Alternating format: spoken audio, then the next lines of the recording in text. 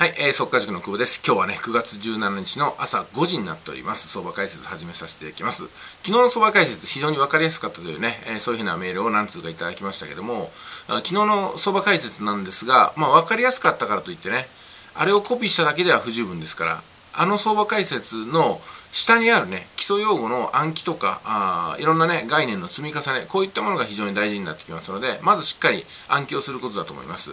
えー、基礎用語とか基礎概念の暗記ね、これができていれば、昨日ね、操作トップっていうものがポンと出てきたりとか、あ全時間軸が下に向かっていることとかを意識しながらチャートを見ていくことができたんで、えー、しっかりとね、えー、売りで取るってことができたわけなんですよ。まあ、ですんで、本当にね、え思っていただきたいのは、あ相場解説うん、どっかの1話をしっかりと理解できたからといってそれで十分ってことではないってことなんですよ。基本的にはあ暗記の賜物ですからね。しっかりと暗記。人に説明できるレベルでの暗記を心がけていただきたいかなと思います。それではねチャートの方を見ていきます。まず週足の方を見ていきましょうか。週足を見ていただきたいのは見ていただきたいところはどこかっていうとこの陰線がね一番最近現れてる陰線が大陰線に育ってきました。だから週の時間軸ってのは売りだよってことを申し上げてきましたよね。え1時間4時間。こちらの方は買いで入ってもよかった。そして日足は横ばいだった。でも週足は大きな売りなんで売りの流れに来てるんで、え、いつかね売りに転換するってことを意識しながら買っていってくださいよってことでしっかりとねそこら辺のリスクを理解して買いで入りつつ途中からね一気に売りに転じられたところが両方取れたあまあ最大利益の最大化ができたところかなと思います。ただ週足で注意していただきたいのはここなんですよ。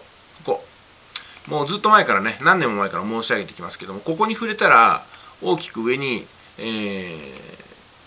チャートがね転換するんだよってことです。ほらね。ここに触れたら上の方に行ってるでしょ？ここに触れたら上の方に行ってるでしょ？ここに触れたら上の方に行ってる。ここに触れたら上の方に行ってる。ですんでここも同じようにもうすぐ触れますからね。このまんま今までの形のように上の方に行くのかそれとも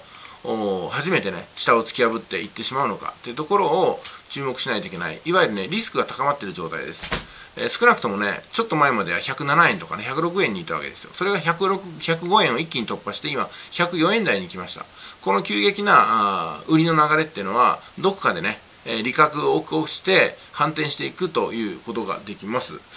要注意ですね。はい次1日足を見てみますね。1日足はこういうふうに山切りを作ってっていうのをお話しました。こういうふうに山を作ってそして3つ目の山がここにあると。で高値がどんどん切り下がっていますんで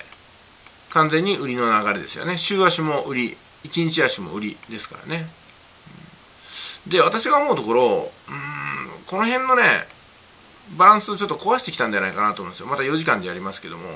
ここを突き破って下の方に来てるのはうんここを突き破って下に来てるのと符合して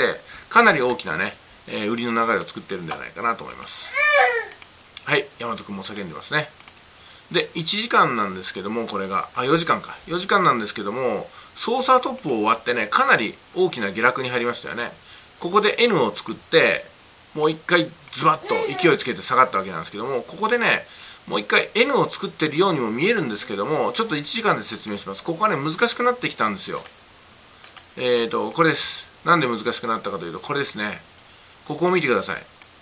大きな上髭と大きな下髭を作って実体が小さいね、えー、陽線がありますよね。その後で陰線が同じように大きな上髭と大きな下髭を作って、えー、陰線のコマの小さい形になってます。実体の小さい。これはね上下に行くのを迷ってる状態なんですよ。ですんでこれがねこれから上の方に帰っていくのかここをね転換点として V を作って上の方に向かっていくのかもしれないですし、えー、そうではなくて今までと同じようにもう一回ほどねこう N を作ってくれるのかもしれません。ですのでちょっとここは慎重になった方がいいです。今日が木曜なんで、えー、木金でしょう。今週はもうエントリーできないと思いながらやった方がいいですね。ちょっとクローズアップしてみますね。これなんですよ。これねあの左の方にちょろっと出てますけどもこれが N を作るのか V なのかってことなんですよ。これよく悩むところですからここはねあのエントリーできなくてもしょうがないです。このまま V を作るのかそのための上下のヒゲなのかそれともねこの辺で止まって N になっていくのかってことですよね。さあせっかく積み上げてきた利益ですから9月のねこれが肝になりますよ。ここで一発勝負に出るのか私は生還しようと思いますよね。そこまでリスクは取れませんから。あのほぼ確実に勝てる時だけ入るのが私のスタイルです。一か八かになるんだったらもうエントリーせずに見るだけにしておきますね。はい、えー、というところなんですけども、いかがだったでしょうか？私の相場解説ね、今日もしっかりとできたと思いますけども、結論としては、今日はエントリーするポイントを求めないってことですよね。上下の大きなヒゲが出てたでしょ。あれが連発できたってことは、横ばいになる可能性もあるんですよ。